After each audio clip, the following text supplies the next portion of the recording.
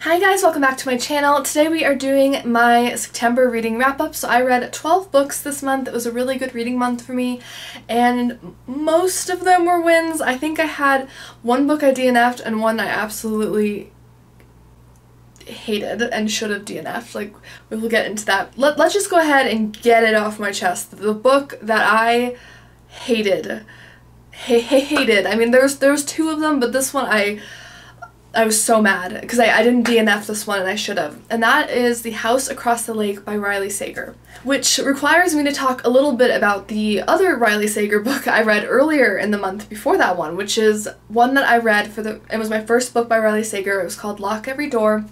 And this was a book that I read for my thriller vlog. I will link it above if you want to check it out. I read three different thrillers by popular authors that are talked about a lot on YouTube just to kind of test them out.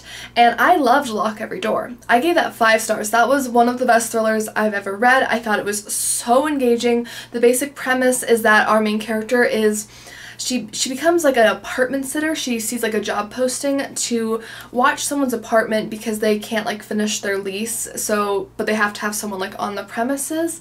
And it's for this really ritzy apartment a place called the Bartholomew. And it's like I mean it's luxurious. It overlooks like Central Park. It's like it's gorgeous. It's where all these like celebrities who want a lot of privacy live. So there's a lot of strict rules about being an apartment sitter. Like she can't have people over. She can't you know, she has to be there every single night. And the ending for this thriller terrified me. I was so glad that I finished it in the middle of the day because it was so creepy and terrifying and it gives me shivers. But it was an amazing thriller. So I decided to put on hold a second thriller by Riley Sager this month, which was The House Across the Lake, which is the one that just released, I believe, this year. So it's a very new release and I was really excited. I like I'm speechless for how much I hated this book. I understand that in thrillers having an unreliable narrator can really add to the suspense. So having someone who is drunk a lot would, you know, is a is a explainable way to have an unreliable narrator, but it got old so quickly. I mean, this there were like paragraphs dedicated to describing everything she drank and it I but that, that's not even, that's, that's not my crit critique in of itself, but the main character had no personality.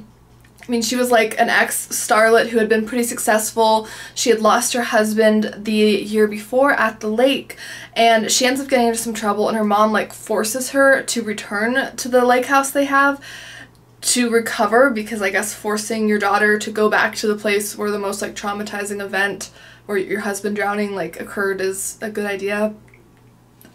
I don't think so, but you know, it wouldn't be a thriller, right, if we didn't if we didn't have weird circumstances. So she's back and she's in isolation and she starts to like the day she's back, she rescues this woman who is drowning in the same lake and she rescues her and they start to kind of have a friendship develop and she the woman disappears basically and she the uh, the main character suspects the husband immediately starts to like go off the deep end, like watching him, and it, it's just, it was, the worst part about it is that it's a very suspenseful book, and besides the lack of character development and my pet peeves with how, like, some of the aspects of the book, like, the book would talk about her drinking, like, bottles of alcohol, but then somehow after she's passed out from drinking that much, she's able to hear something from, like, across the lake. I don't think someone's gonna hear something from across the lake, even if they were awake and perfectly sober, in my opinion. I mean, you know, but if someone's like passed out, I don't know. I, I found it to be unbelievable. There were some unbelievable elements, but the ending for this was what ruined it for me.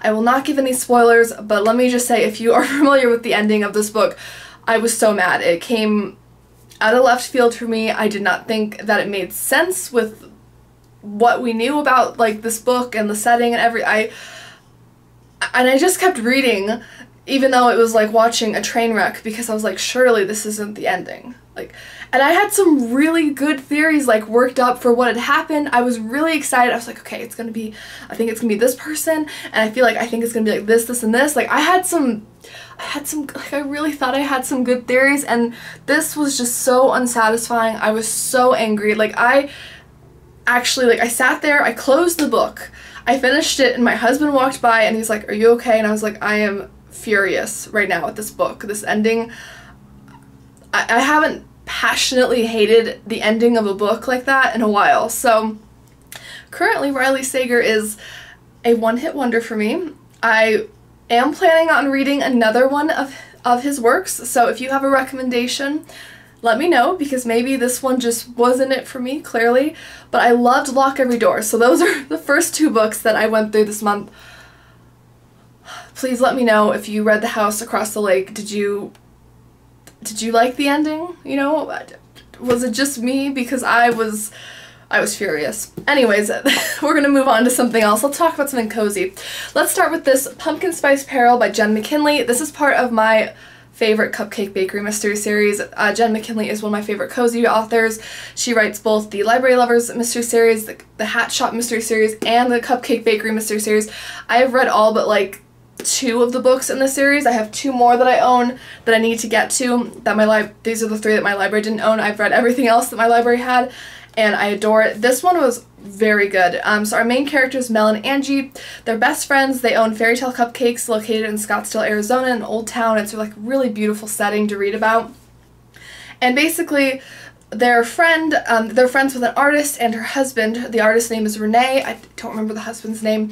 But the husband comes in every week on Fridays to pick up cupcakes, like a four pack of cupcakes for his wife because she adores their cupcakes and she sometimes, with her very busy life as a famous artist, she forgets to eat like when she's stressed out. So he buys her these cupcakes. Really sweet, right? Well, later that day, uh, Renee is found dead with the cupcakes nearby. And seeing that the cupcakes are nearby, the police take them in for like sa- like to sample them and to see if you know, to test them for poison and things like that because they find out that Renee has been poisoned. So not only are Mel and Angie grieving the loss of a very dear friend, but they're also noticing that their friend had been acting very strangely before her death. She did have a huge art exhibit that was going on that she was preparing for. It was like the biggest event of her life. Um, but it was just very strange the way she was acting. So they start to investigate, and I just, I love this. If you enjoy like some really good best friend dynamics, if you love a culinary cozy mystery, if you want an amazing setting, if you like recipes in your cozy mysteries, I really recommend this series. It's just so heartwarming. It's great mysteries, well thought out. I always feel like there's a lot of interesting business related mysteries because they, a lot of them involve Old Town Scottsdale, which is filled with different businesses, so a lot of them occur with different business owners or people in the area. So I highly recommend this series. This book was great. You can read them out of order, but I do recommend reading them in order if you can, just because it is you can kind of see the characters develop. But if you are looking for just a fall cozy read, this is great. Pumpkin Spice Peril. It's very fall themed. Really, really fun. Another positive read that I did really enjoy was A Hex for Danger by Esme Addison. This is the second in the Enchanted Bay mystery. This is as far as the book has been released so far, so this came out in 2021. And as far as I know, there is not a release scheduled for 2022. I'm hoping next year there will be a third book in the series. This is a magical cozy mystery, so I included this in my autumn recommendations for cozy books. If you want to check that out, I'll link it above. And I could not recommend this enough. I loved the first book in the series. It's called A Spell for Trouble. Thought it was amazing. Our main character, Alexandra, or Alex, is basically has just re rediscovered and reconnected with her mother's family and she finds out that her mother and her mother's family are like descendants from like mermaids. So they're basically like water witches. Like they have some different magical abilities when it comes to like healing water and her aunt owns a, a like a, apothecary and so she'll sometimes enchant different teas and things to help her customers and it's just really interesting to learn about the magic. I feel like the world building with the magical systems and stuff in this is a lot more complex than a lot of other like kind of supernatural or magical cozies I've read so far and I've really been enjoying that. It's really fantastical. So basically our main character Alexander in this is working with her aunt. She's enjoying working in the shop. She's learning a little bit more about her powers which you know she learned about in the first book because she hadn't been exposed to this growing up like her cousins had been. So she's kind of trying to catch up with that, feeling a little left behind, but they're planning a mermaid festival in town because there's a lot of mermaid lore that's woven into the town's history. And so what's what better than to like hide the like descendants of mermaids like in plain sight and celebrate the mermaid heritage. So like all the other businesses in town, they are participating in it. And Alexandra's friend and like very distant cousin Celeste, who's a Caribbean mermaid descendant, which they went into a little bit in the book, is very interesting. She's having a hard time with her boyfriend Jasper because she suspects him of having an affair with this artist who is in town doing like a mural for the uh, mermaid event basically. And so she and the artist get into a big fight. There's a big blowout and unfortunately the artist is found dead later on. And her cousin and friend doesn't have like a solid alibi and she's looking like a very good suspect to the police because of the public blowout just the drama the fact that she did have the means the motive you know she wasn't she didn't have like a good alibi, nothing like that. So this book was really engaging. The ending for this, just how everything like fell together. I didn't see the ending coming. I thought it was a very well done mystery, but just some of the world building in this was fabulous. Like I really really enjoyed more than I usually do with like supernatural or magical mysteries. I really loved the supernatural elements in this. This is like the most well done, complicated but well executed magical mystery series that I've read personally. So I can't wait for the book book 3. I'm like please come out next year. I need another book. I need to know what happens. So, would definitely recommend this. It was incredible. So a not so good read for me this month was The Silent Patient by Alex Michaelides. This was actually the book that I DNF'd. I read about 150 pages. I think it was like 350 in total. So I got almost to the halfway point and I just couldn't do it. If you want like a full explanation and my reasoning and things I didn't like about the book, you can check out my thriller vlog that I linked above previously. But giving it to you quickly, basically I found the stereotypes about people struggling with mental illnesses to be hugely uh, terrible. Like just, I mean, the stereotypes in this book against other humans, whether it was women, whether it was people with mental illnesses, I mean, there was this I know we're reading it from uh, one character's perspective, so of course the character is going to have their own biases, but it just permeated the book, and I could not stand it.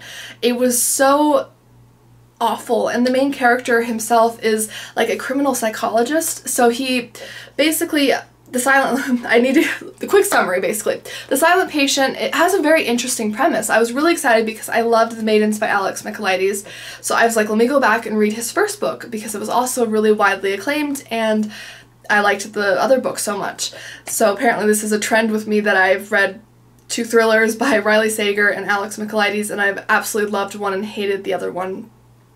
So that's that's where we're at right now. The silent patient is a woman named Alicia and basically like 7 years before this book takes place, she had killed her husband and by all accounts they'd had a very happy marriage. They were like in love, they were both artists, they were just everything was going well. There was no signs or anything and ever since she killed him, she was convicted and sent to a mental health facility and she hasn't spoken one word since she killed him. Not one word. So nobody knows why she did it.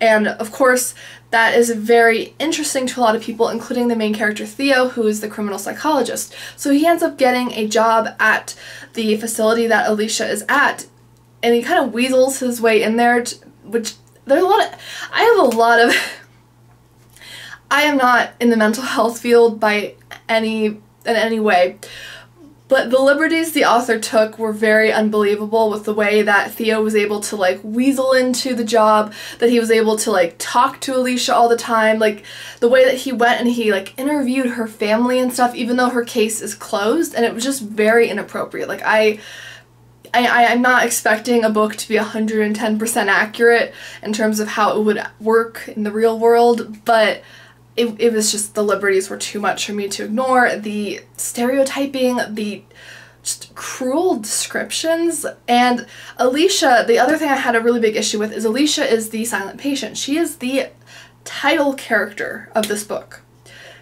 And I knew just as much about her at 150 pages into the book as I did reading the summary of the book, like the you know the book synopsis. I learned nothing about her, even though the the primary focus of the book is about Alicia. And while yes, she is silent, so that would you know make it a little more difficult to get to know her. There are also included journal entries from her throughout the book and I got nothing about her personality. Everything was about how obsessed she was with her husband, how in love they were, that she was an artist, but they never really went into her passion for her art or anything that would give her a personality really. She's just a really good artist. That's that's pretty much all you know. And then also that she is apparently very attractive to men, or at least Theo like constantly talks about how attractive she is, which seeing as he is her doctor, again, that's that's really weird. Um, that, that's really weird to me, but I, I just can't. I ended up actually looking up the ending for it just because I was curious and I knew I was not going to finish it and I, I'm really glad I DNF'd it because I was like this, no, no. I would have been very upset if I'd gotten to the end after all that. So that was a one star read for me. Um, everything else is more positive going forward. So let's hop into a good read.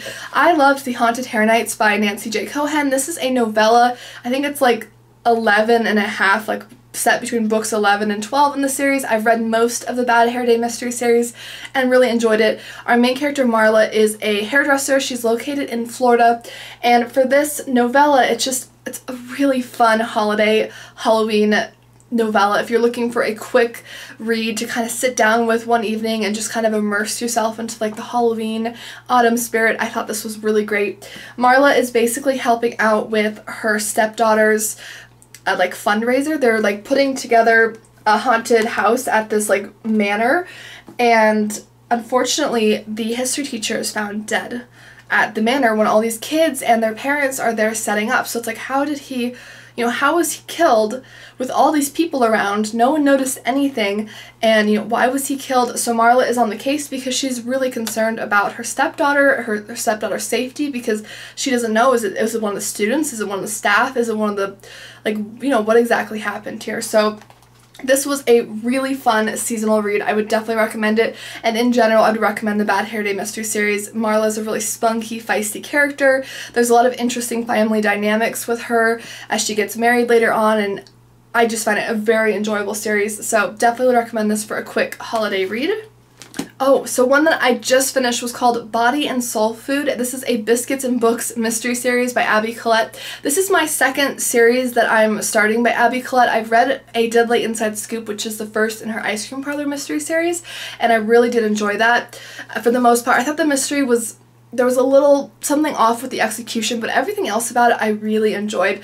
So I was going into this with pretty like high hopes and this knocked out of the park. The mystery was excellent. The two main characters are Kobe and Keaton and they are fraternal twins who have found each other as adults. They were separated when they were like two years old. Kobe grew up in the foster care system while Keaton grew up in an adopted family from the age of two on and as adults they reunited and they decided to open a bookshop because Keaton is a a former librarian and book lover, of course, and Kobe is a, a really great chef. So he is like a cafe with like soul food and stuff like that.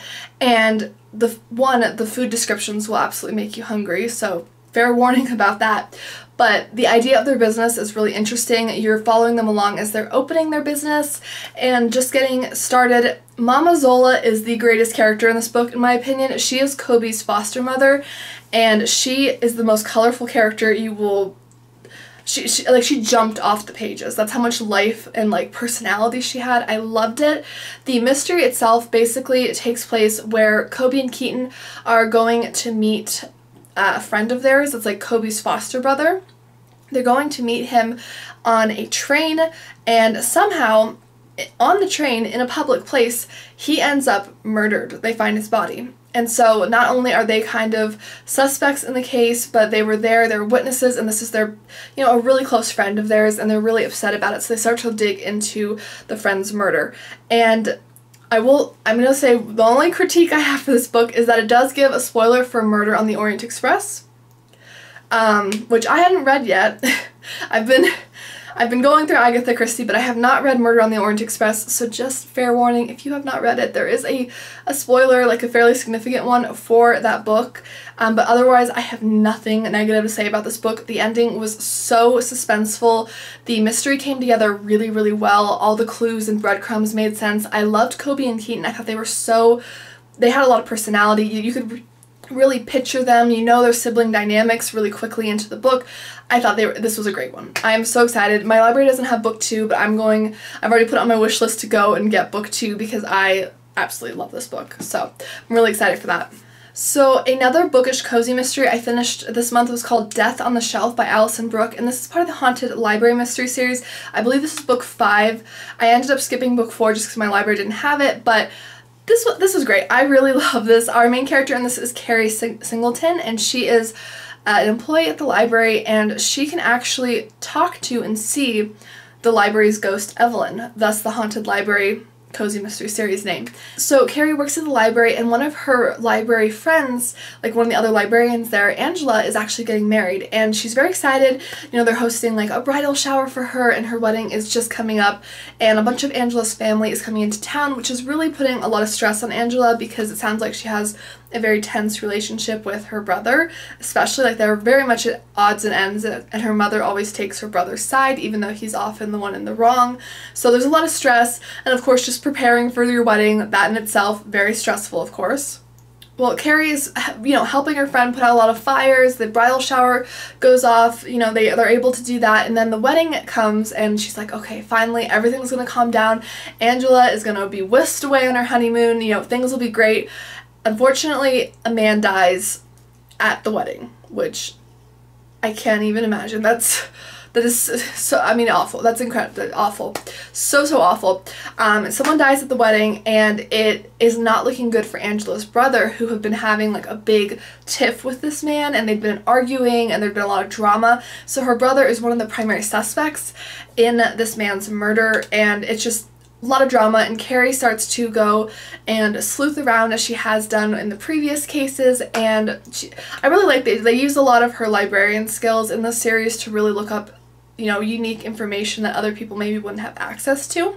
So I find that to be really interesting. And then her conversations with Evelyn, who is the library's ghost, is just always interesting. Evelyn sometimes has unique tidbits from when she was alive, or she'll overhear gossip throughout the library from like patrons and stuff, and I, it's just so fascinating. I love it. It's just like that perfect touch of like a little bit of supernatural, but the rest of it's all, you know, normal like straight shooting like mystery novel so I really enjoy it would recommend the series I'm looking forward to the next book so a classic mystery I read this month that I loved I mean I've loved the other ones by Agatha Christie but this one it was so good.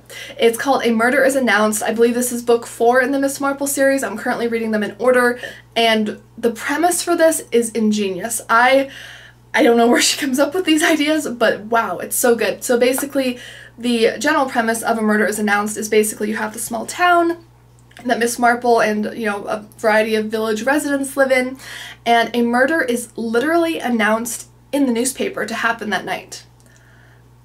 Which what would you even do if you came across that in the newspaper? I'm not like, I don't know. Um, I, I would almost think it's like a prank or something, which is kind of how a lot of the residents viewed it. But a lot of them were also kind of nosy, so they decided to show up at this person's home and thinking maybe she's throwing like last minute, like, you know, game night like party, like a murder game or something at party. So they all come to the house in preparation to see, well, you know, what is this all about basically. And unfortunately, a murder does actually occur. So the murder was announced and it was executed at the time that it was supposed to be like supposed to go off and everything. And so Miss Marple is on the case trying to figure out what happened. The reveal for this, I, I honestly don't know how anyone could have quite put it together. It was so so well executed. The clues, the breadcrumbs, like it was such like an imaginative ending and everything and just the the creativity Agatha Christie has. I I like there's just no words, but her writing is just so interesting. I find that sometimes I have a little bit of a hard time getting into the novel at first, but once I'm like 20% of the way into an Agatha Christie, then I'm just like page turning, page turning, because I've really just been sucked in. The writing, the language, everything is so beautifully written in her books, and the mystery is there's nothing simple about an Agatha Christie mystery and reveal. Everything is complex, layered, multifaceted. It's just fascinating the way that she puts these together. So another thriller that I read this month for that thriller vlog was One by One by Ruth Ware. This was my first Ruth Ware and I loved it. It was fabulous. Um, I know some fans don't like this one as much as Ruth Ware's other work because it is a little bit more murder mystery meets thriller versus just like pure thriller. So I, I can understand that depending on what you're like, but as a murder mystery and thriller fan, I thought this was amazing. The premise for this book is that uh, this company, Snoop, which is like an app where you can like watch what other people are like listening to and listen to it at the same time. So it's kind of like Spotify and like Twitter with like live music updates, basically, something along those lines. Um, basically, they rent a ski chalet in the French Alps out, so they are doing it for like a company retreat. So all these employees show up at this chalet and they're, you know, going to do skiing, they're going to do some company pres presentations and stuff. And, you know, there's a lot of drama and politics between all of the employees that you learn about, which is really interesting. And then you also have the two characters that are employees, like that are hosting the ski chalet as well. This book is told from two points of views. I thought it was very easy to follow, and I really enjoyed kind of the dual perspectives on it. And basically, on like I don't know, the second day or so of their retreat, they go skiing and one of their members goes missing. Nobody knows what has happened to this person, and they get snowed in. I mean, they get like really snowed in, like where they cannot get out. The electricity is out. They are like, I mean, they are snowed in. They can't go anywhere without the risk of freezing to death. They have no contact with the outside world. So one, the isolation trope, the setting, it is so creepy. There's lots of descriptions of like ice and cold and snow, and so you just have these chills running up your arms on top of all the drama that's happening. And then as the title suggests, people start to go missing or be or be murdered one by one. It's so suspenseful. I absolutely recommend it. I thought it was fantastic. This is the perfect like fall winter read because of the freezing cold temperatures and everything that's described highly recommend it. I cannot wait to read another Ruth Ware book because this was phenomenal. If you have recommendations for more Ruth Ware ones, let me know what your favorite is. I would love to hear it. So another favorite author of mine, this is the latest release in the Pen and Ink mystery series by Krista Davis, and this is called A Colorful Scheme. Five stars. I love it. It's uh, this is the fourth book in the series. I have loved the other three that I've read. I own I have one of them up here. The basically premise of this is our main character, Florrie Fox. She works in a bookshop and she's also a coloring book artist and some of her coloring books are actually sold in the bookshop as well. And the bookstore also sells um, and like runs different coloring book classes and groups and stuff like that. So it's very much, you know, pen and ink coloring book themed. You can even see like the beautiful um, coloring book cover. So if you owned this, you could color it in. And I love Florrie. I think she's a really relatable, spunky character. She's just nosy enough, but she's not so pushy that it's annoying. Like sometimes Cozy Mystery Sleuths can be a little too aggressive, and I feel like she has a very smooth way of kind of working her way into meeting people or talking to them to try to solve you know what's going on.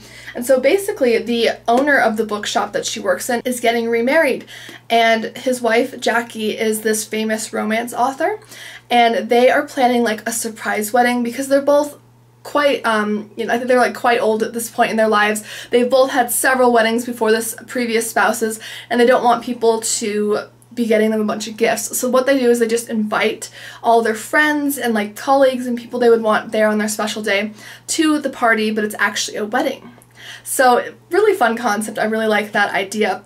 Basically the wedding goes well, everything's going great, they get married, and that night a man is found dead in the pool uh, on the property, which is where the party was at and where a lot of guests that are like out of towners are staying as well.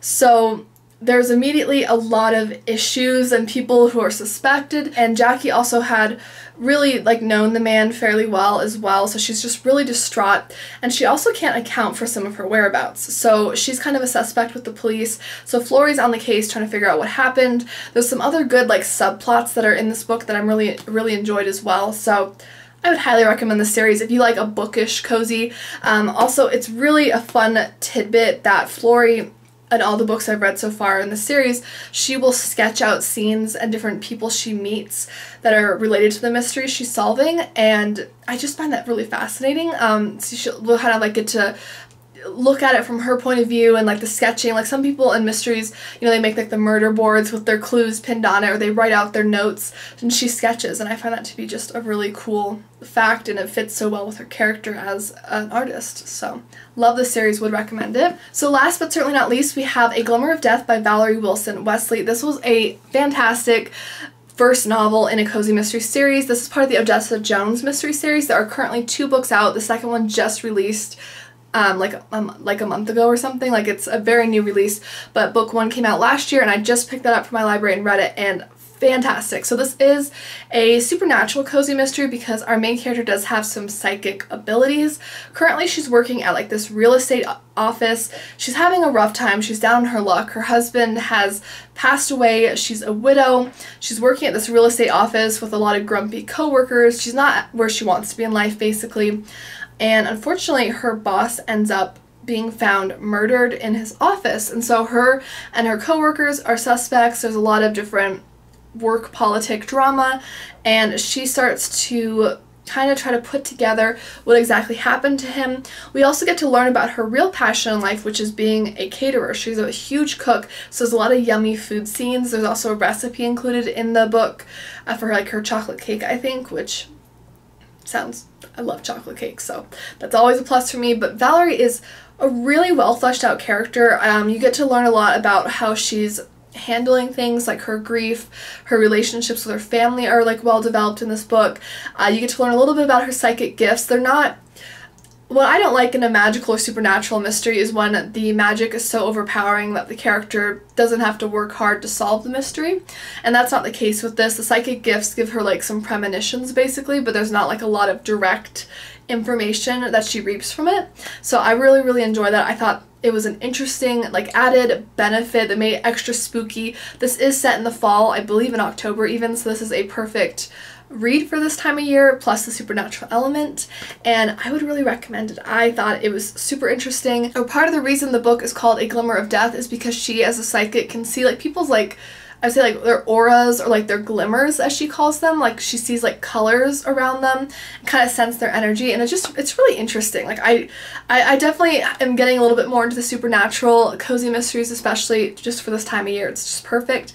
And she was a super interesting character. I would really recommend it. I love the name Odessa. What a fun fascinating name. So definitely recommend it Thank you guys again for watching. Please let me know down below what you read this month, and I will see you guys in my next video. Don't forget to like and subscribe for more. I will be posting videos every single week, and I don't want you to miss out. So I'll see you guys soon. Bye!